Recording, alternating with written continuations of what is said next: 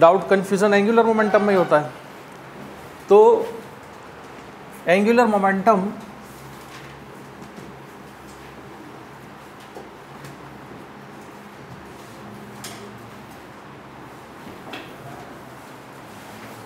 angular momentum को हम दो तरह से पढ़ेंगे एक पार्टिकल के लिए और दूसरा रिजिड बॉडी के लिए जिसका साइज मैटर करता है है ना So formal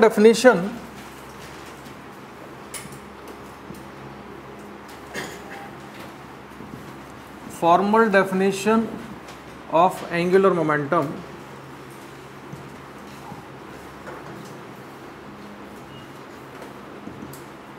of a particle is L equal to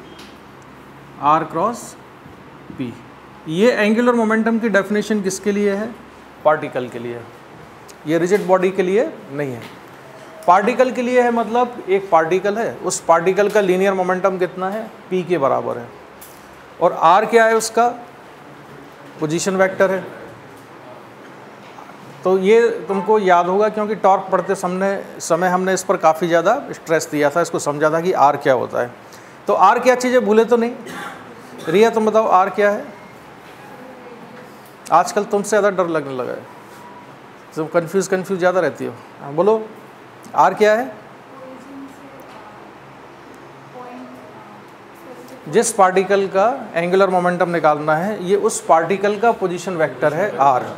और पोजीशन वेक्टर कोऑर्डिनेट सिस्टम के रिलेटिव लेते हैं हम तो कोऑर्डिनेट सिस्टम का जो ओरिजिन है उस ओरिजिन के रिलेटिव पोजीशन वेक्टर बनाया है हमने तो आर क्रॉस पी ठीक है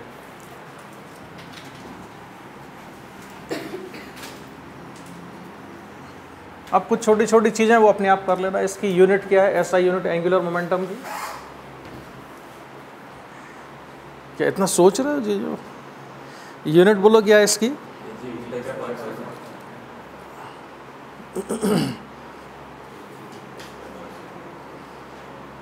अच्छा अगर टोटल एंगुलर मोमेंटम निकालना हो किसी सिस्टम का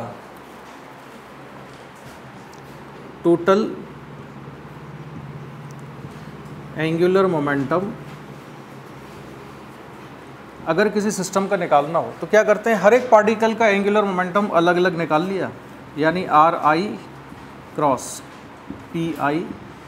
एक कई सारे पार्टिकल हैं जिनके पोजीशन वेक्टर हैं R one R two R three R four R N उनके लीनियर मोमेंटम है P one P two P three P N ठीक है तो कोई आई एथ पार्टिकल है उसका एंगुलर मोमेंटम हो जाएगा R I cross P I और इन सभी का वेक्टर सम कर देंगे समेशन कर देंगे तो निकल आएगा टोटल एंगुलर मोमेंटम ठीक है तो ये टोटल एंगुलर मोमेंटम हो गया अब एंगुलर मोमेंटम का जो कैलकुलेशन है उसे करने के तरीके क्या है मतलब एंगुलर मोमेंटम को कैसे कैसे कैलकुलेट करना है तो देखो ज़रा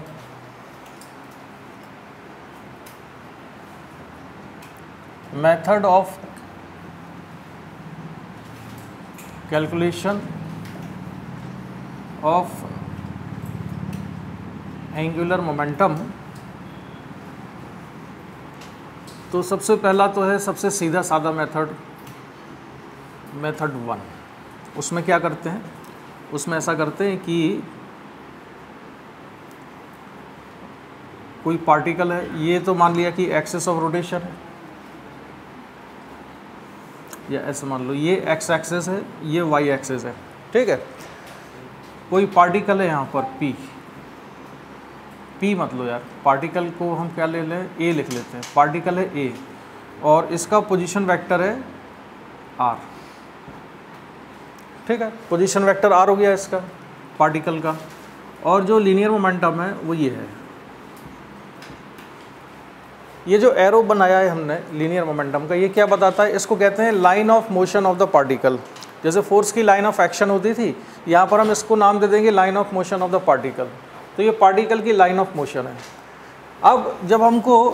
एंगुलर मोमेंटम कैलकुलेट करना है सिंपल सिंपल मैथड से तो ये लिखेंगे modulus of R modulus of P into sine theta तो इसमें थीटा कौन सा एंगल है ये भी याद होगा तो इसमें जो थीटा एंगल आएगा वो एंगल होगा इसको बढ़ा देते हैं हम आगे पोजीशन वेक्टर को तो ये एंगल चाहिए हमको थीटा समझ में आया दो वेक्टर्स के बीच में एंगल वो एंगल होता है जब दोनों टेल ऑन टेल होते हैं तो यहाँ पर लिखा हमने P और ये पोजीशन वेक्टर था ऐसा R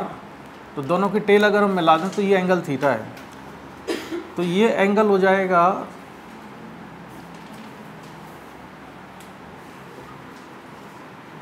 L equal to P into R sine theta N cap ये एंगुलर मोमेंटम बेसिकली कैलकुलेट हो गया इस एंगुलर मोमेंटम की डायरेक्शन क्या आएगी आर क्रॉस पी करेंगे तो आर से पी की तरफ तो इसकी डायरेक्शन है outward perpendicular to the plane outward यानी इसको एन कैप को क्या लिख सकते हैं हम के कैप की डायरेक्शन है ये ठीक है तो ये तो सिंपल तरीका हो गया इसमें हमने कोई भी ख़ास चीज़ नहीं की बहुत अलग से कुछ नहीं किया और क्या तरीका होता है एंगुलर मोमेंटम को अगर पार्टिकल का निकालना है तो और क्या करते थे बताओ हाँ वेरी गुड रिजॉल्व करके कर सकते हैं अब हम क्या करें अगर हमने यहाँ से ये जो लाइन ऑफ मोशन थी इस लाइन ऑफ मोशन पे परपेंडिकुलर खींच दिया यहाँ से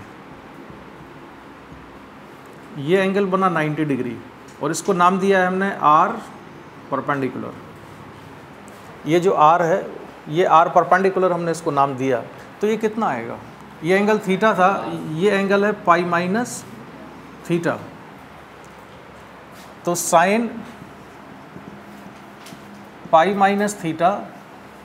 equal to ये आर परपेंडिकुलर अपॉन आर ठीक है sine nine pi minus theta कितना होता है साइन थीटा के बराबर आएगा तो ये आर साइन थीटा ही हुआ तो यहाँ जो लिखा हुआ है एंगुलर मोमेंटम इसको हम ऐसे भी लिख सकते हैं L equal to P into R perpendicular into K cap यानी कि एंगुलर मोमेंटम निकालना है किसी पार्टिकल का तो या तो पोजीशन वेक्टर लिख लो और अगर पोजीशन वेक्टर नहीं लिखना है तो दूसरा तरीका क्या हो सकता है हम line of motion of linear momentum linear momentum की लाइन ऑफ मोशन पे एक परपेंडिकुलर खींच देंगे ठीक है तो ये तरीका हो जाएगा पी इंटू आर परपेंडिकुलर अच्छा दूसरा तरीका क्या हो सकता है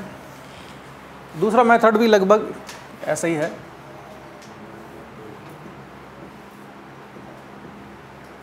मेथड टू में हम क्या करते हैं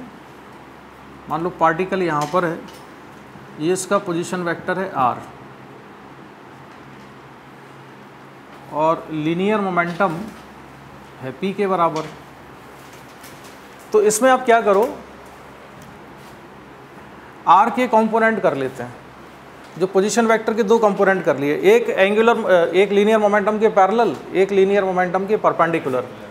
तो दो कंपोनेंट क्या होंगे एक कंपोनेंट तो ये हो गया इसका ये परपेंडिकुलर हमने खींचा ये हुआ आर परपेंडिकुलर और एक बनाएंगे हम यहाँ से आर पैरल तो ट्राइंगल लॉ वैक्टर एडिशन से ये प्लस ये इससे क्या आ जाएगा आर आ जाएगा तो जो टोटल एंगुलर मोमेंटम है total angular momentum L equal to जिसको कि हम लिखते हैं आर क्रॉस पी अब उसको ऐसे लिख सकते हैं L equal to R perpendicular plus R parallel cross P तो L equal to R perpendicular cross P plus R parallel cross P equal to ये आर परपेंडिकुलर क्रॉस P केवल बचेगा और ये कितना हो जाएगा ज़ीरो क्योंकि आर पैरल लीनियर मोमेंटम के पैरल है तो दो पैरल वेक्टर का क्रॉस प्रोडक्ट हो जाता है ज़ीरो तो ये ज़ीरो हो जाएगा और इसको अगर हम सिंप्लीफाई करें तो ये भी वही आता है R perpendicular into P और इन दोनों वैक्टर के बीच में एंगल कितना है आर परपेंडिकुलर और पी के बीच में 90 degree sine 90 degree to N cap तो एक तरीका ये भी हो गया लगभग वैसे ही है ठीक है दूसरा मेथड क्या हो सकता है मोमेंटम को रिजॉल्व करके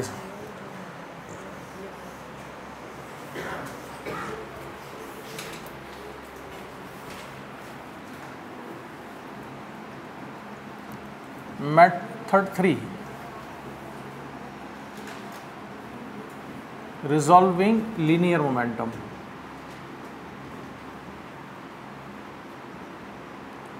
linear momentum को रिजॉल्व करके भी किया जा सकता है अब इसको मैं क्वेश्चन से समझाता हूं तुमको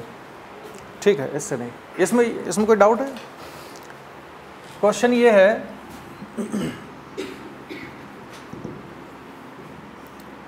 एक टेबल है इस टेबल की एज पर एक पार्टिकल रखा हुआ है जिसका मास है एम ठीक है टेबल की एज पर एक पार्टिकल है जिसका मास एम है particle is given horizontal velocity V not then find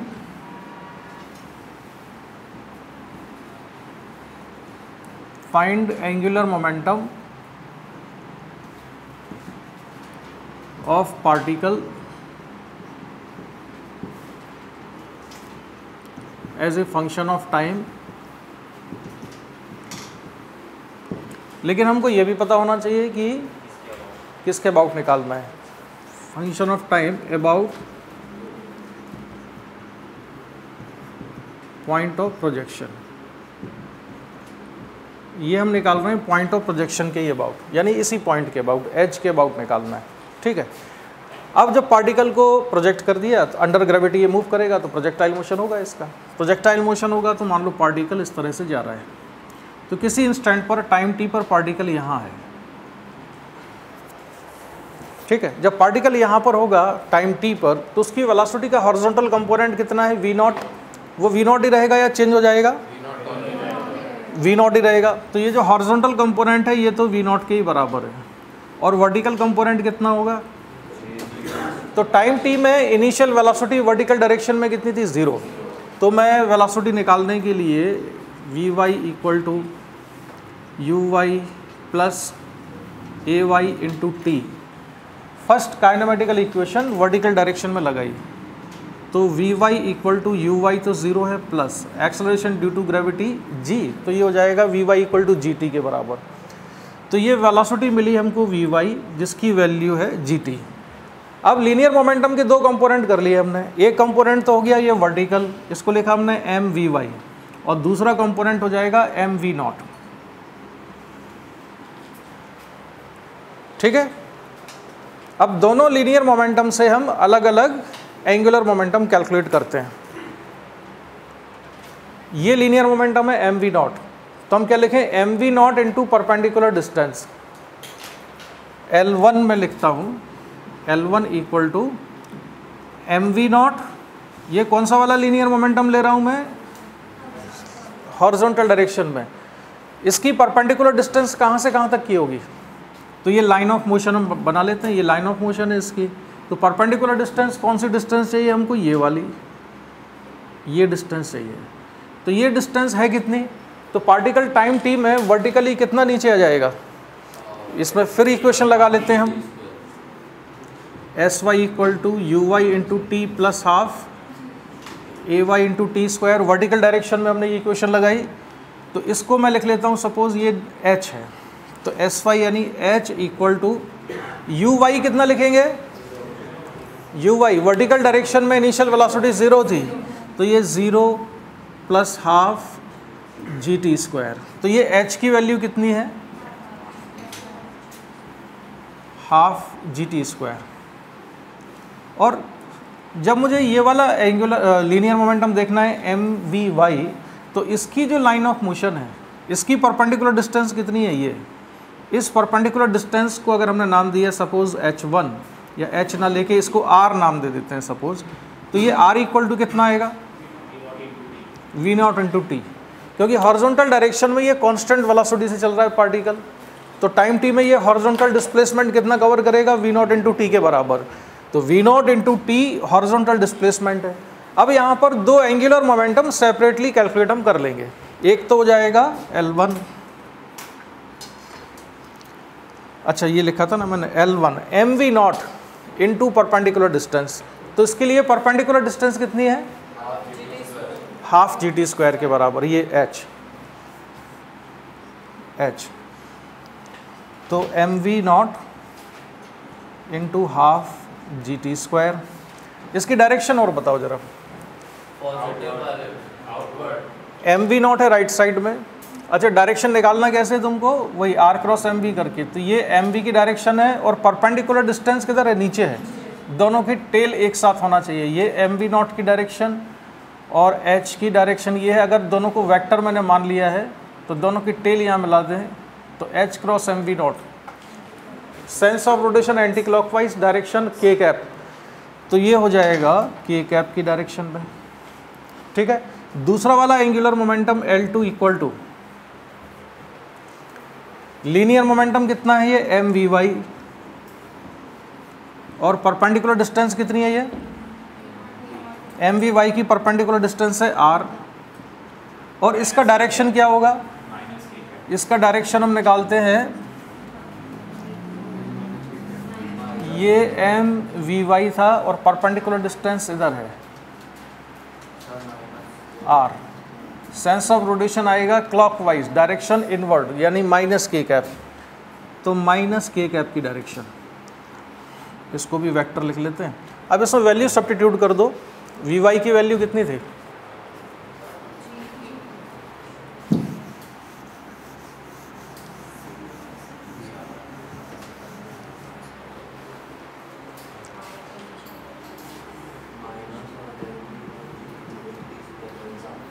Manav L1 one plus L करने पर टोटल कितना रहे one by two M V not G T square K cap minus M V Y था V Y कितना है था G T और R था V not into T और K cap minus minus one by two M V not G T square K cap ये angular momentum आ गया इसका as a function of time है ना तो इसमें हमने क्या किया इसमें हमने लीनियर मोमेंटम के कंपोनेंट कर दिए दो ऐसा इसलिए किया दो कंपोनेंट करने से क्योंकि एक तरीका तो ये हो सकता था कि हम डायरेक्ट आर क्रॉस एम करके निकालें तो आर क्रॉस एम में समस्या ये आ रही थी कि इसकी जो वेलासिटी है टोटल वो वेलासिटी तो इधर होगी वी और फिर मुझे आर चाहिए तो मैं आर बनाऊंगा यहाँ से तो ये होता आर तो ये आर कैलकुलेट करना पड़ता तो आर कैलकुलेट करना पड़ता और वी निकालना पड़ता है ना फिर उसके बीच में एंगल भी चाहिए कितना एंगल होगा आर क्रॉस एम वी जब M V R sine theta आएगा तो उससे बेटर हमको ये लगा कि हम लीनियर मोमेंटम के कंपोनेंट कर लेते हैं एक एम वी नॉट और एक एम वी वाई तो ये जो परपेंडिकुलर डिस्टेंस है इनको देखना ज़्यादा आसान है ठीक है करने को तो वहां से भी हो जाता है चलो अब और आगे बढ़ते हैं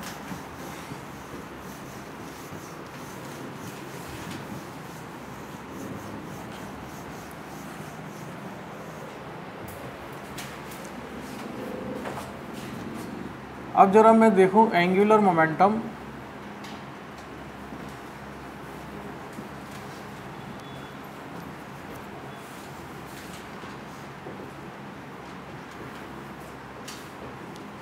moving particle along x axis तो क्या सिचुएशन है इसमें इसमें सिचुएशन ये है कि ये y एक्सिस x एक्सिस एक ब्लॉक है छोटा ब्लॉक है पार्टिकल की तरह से ही है ठीक है और ये मूव कर रहा है वेलोसिटी v से मास इसका m के बराबर है तो मुझे इसका एंगुलर मोमेंटम निकालना है पॉइंट ए के अबाउट तो एंगुलर मोमेंटम अभी सभी लोग नहीं बोलना मैं जिससे पूछूं वही बताना आंसर सबको पता होगा मुझे मेथड भी पूछना है angular momentum of block about A L A लिखा मैंने इसको एल ए इक्वल टू तो ए के अबाउट इसका एंगुलर मोमेंटम कितना होगा सौरभ तुम बताओ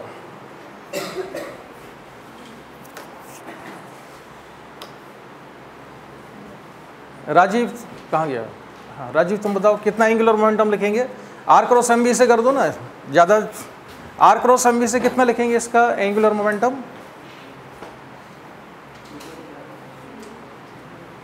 अच्छा एंगल तुमको जैसे भी पता हो जितना भी अभी तक समझ में आया तुम बता सकते हो उसका एंगुलर मोमेंटम क्या होगा एंगुलर मोमेंटम बता सकते हो क्या है अरे यार इसमें क्या देवाशीष कहाँ हो तुम हाँ ज़ीरो क्यों है रीज़न बताओ आंसर सही है तुम्हारा आंसर सही है डिस्टेंस कौन सी जीरो है तुमने इतनी सारी बताई ऐसे तो ये डिस्टेंस जीरो कहाँ है हाँ ठीक ठीक है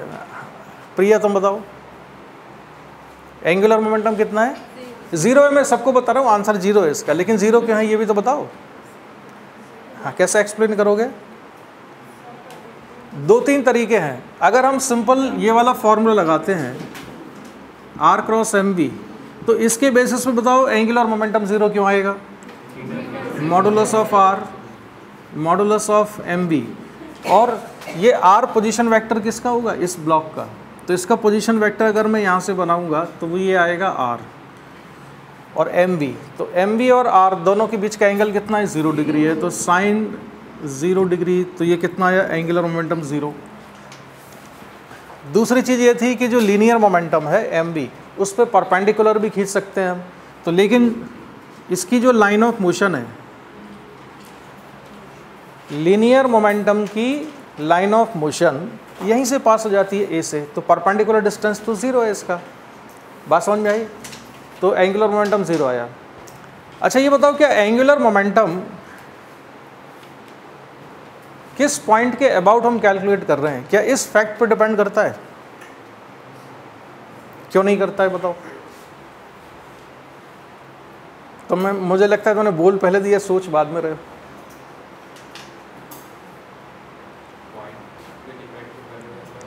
चलो एक हम दूसरा पॉइंट सेलेक्ट कर लेते हैं यहां पर ये है बी ठीक है और ये डिस्टेंस कितनी है डी अब angular momentum angular momentum about point B निकालना है हमको एल बी तो L B equal to Rajiv बताओ एल बी कितना होगा दो तरीके हैं इसको सॉल्व करने के एक तो लीनियर मोमेंटम एम बी और उसकी परपेंडिकुलर डिस्टेंस कितनी है कितना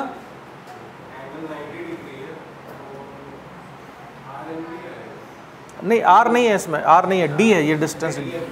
हाँ एम वी इंटू डी हो जाएगा ये लीनियर मोमेंटम है एम वी और ये परपेंडिकुलर डिस्टेंस कितनी है डी के बराबर ठीक है इसको ऐसे भी लिख सकते हैं हम आर क्रॉस एम वी इसको चलो मैं आर वन लिखता हूँ तो आर वन से हमारा मतलब क्या है आर वन से हमारा मतलब है पार्टिकल जब यहाँ पर है तो इसका पोजिशन वैक्टर चाहिए तो ये मैंने लिखा आर वन ये पोजिशन वैक्टर है इसका ठीक है तो R one cross M B लेकिन इसको थोड़ा आगे बढ़ा दें हम ये आर वन ये एम बी एंगल कौन सा आएगा इसमें ये वाला थीटा तो इसको अगर हम ओपन करते हैं क्रॉस प्रोडक्ट को तो ये बचेगा R one M B sine theta N cap तो ये एंगल अगर थीटा है तो ये भी थीटा होगा तो इस वाले ट्राइंगल में sine theta equal to perpendicular D upon hypotenuse R one तो D R one equal to sorry D equal to R one sine theta तो D equal to R one sine theta है तो यहाँ R one sine theta को D लिख दें तो हमको मिलता है M V D into N cap N cap किस डायरेक्शन में आर की डायरेक्शन ये थी एम वी इधर है आर क्रॉस एम वी ऐसे करोगे आप आउटवर्ड के कैप की डायरेक्शन में तो ये बी अगर हमने पॉइंट लिया तो एंगुलर मोमेंटम अलग आया ए लिया तो एंगुलर मोमेंटम अलग आया इसका मतलब ये है कि एंगुलर मोमेंटम डिपेंड करता है ओरिजिन पर कि हम किस पॉइंट के अबाउट एंगुलर मोमेंटम निकाल रहे हैं ठीक है समझ में आ गया ये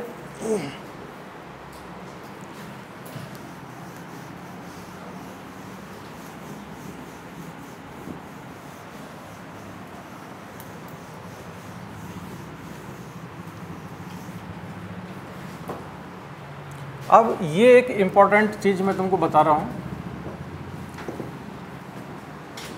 ये पॉइंट आप नोट कर रखेंगे angular momentum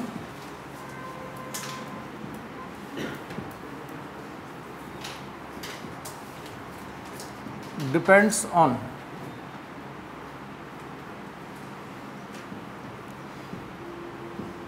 selection of origin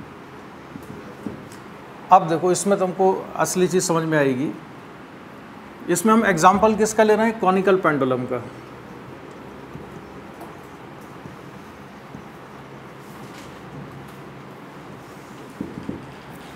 conical pendulum का एग्जाम्पल लेते हैं तो इसमें सिचुएशन ये है कि एक पार्टिकल है और उस पार्टिकल को सर्कुलर पाथ में मूव करा रहे हैं उस पार्टिकल को एक स्ट्रिंग से बांध दिया है उस स्ट्रिंग की लेंथ कितनी है एल के बराबर पार्टिकल सर्कुलर पाथ में मूव कर रहा है ये एंगल कितना है मान लो थीटा है और रेडियस ऑफ सर्कुलर पाथ कितनी ले लें आर के बराबर सिचुएशन क्लियर है क्या हो रहा है इसमें एक पार्टिकल है स्ट्रिंग से बंधा हुआ है स्ट्रिंग की लेंथ है एल पार्टिकल का मास एम है और फिर उसको एक सर्कल में घुमाना शुरू किया तो पार्टिकल सर्कुलर पाथ में मूव कर रहा है particle is moving in horizontal circle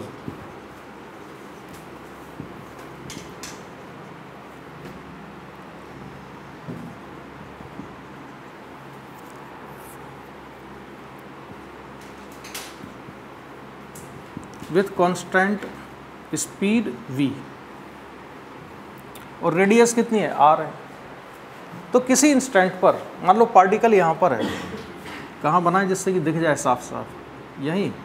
अब ये थ्री की सिचुएशन है बोर्ड में बनाने में थोड़ी दिक्कत होती है इस पॉइंट को हमने मान लिया ए और ये है B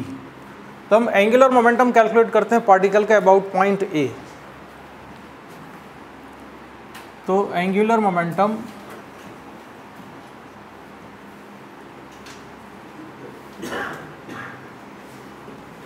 about A L A equal to तो जो मेथड है हमारा कैलकुलेशन का वो क्या है भाई वो ये है कि एक तो जब पार्टिकल मान लो यहाँ पर है इधर है तो इसका लीनियर मोमेंटम की डायरेक्शन क्या है लीनियर मोमेंट पार्टिकल ऐसे घूम रहा है ऐसे पार्टिकल इस तरह से घूम रहा है हमने ये वाली पोजीशन ली तो लीनियर मोमेंटम किधर है अंदर की तरफ है टेंजेंशियल होगा वेलासिटी जिस डायरेक्शन में उसी डायरेक्शन में लीनियर मोमेंटम आएगा तो लीनियर मोमेंटम टेंजेंशियल है यहाँ पर और ये है आर तो आर क्रॉस एम वी कितना हो जाएगा तो ये होगा एम वी आर और direction R cross M V की डायरेक्शन देखो ये तो आर निकल जाएगा यहाँ पर एम वी अंदर की तरफ है एंगल 90 डिग्री होगा ये एम भी इधर होगा अंदर की तरफ कोऑर्डिनेट सिस्टम हम ये वाला ले लें अगर एक्स वाई जे कैप के डायरेक्शन में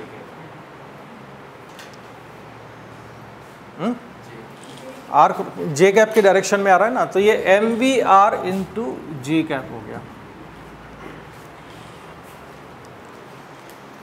अच्छा इसकी डायरेक्शन कांस्टेंट है कि नहीं है एंगुलर मोमेंटम की एंग पार्टिकल जब मूव कर रहा है तो throughout the motion angular momentum L A direction और मैग्नीट्यूड दोनों में कांस्टेंट है कि नहीं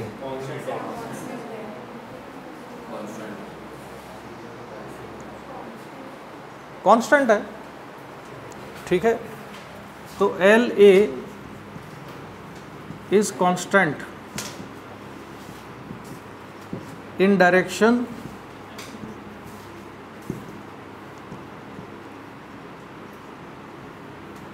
and magnitude both point A के अबाउट एंगुलर मोमेंटम कांस्टेंट आया है डायरेक्शन भी कांस्टेंट और मैग्नीट्यूड भी कांस्टेंट है ठीक है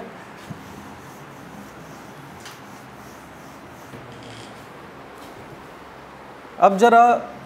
हम निकालते हैं L B angular momentum B के अबाउट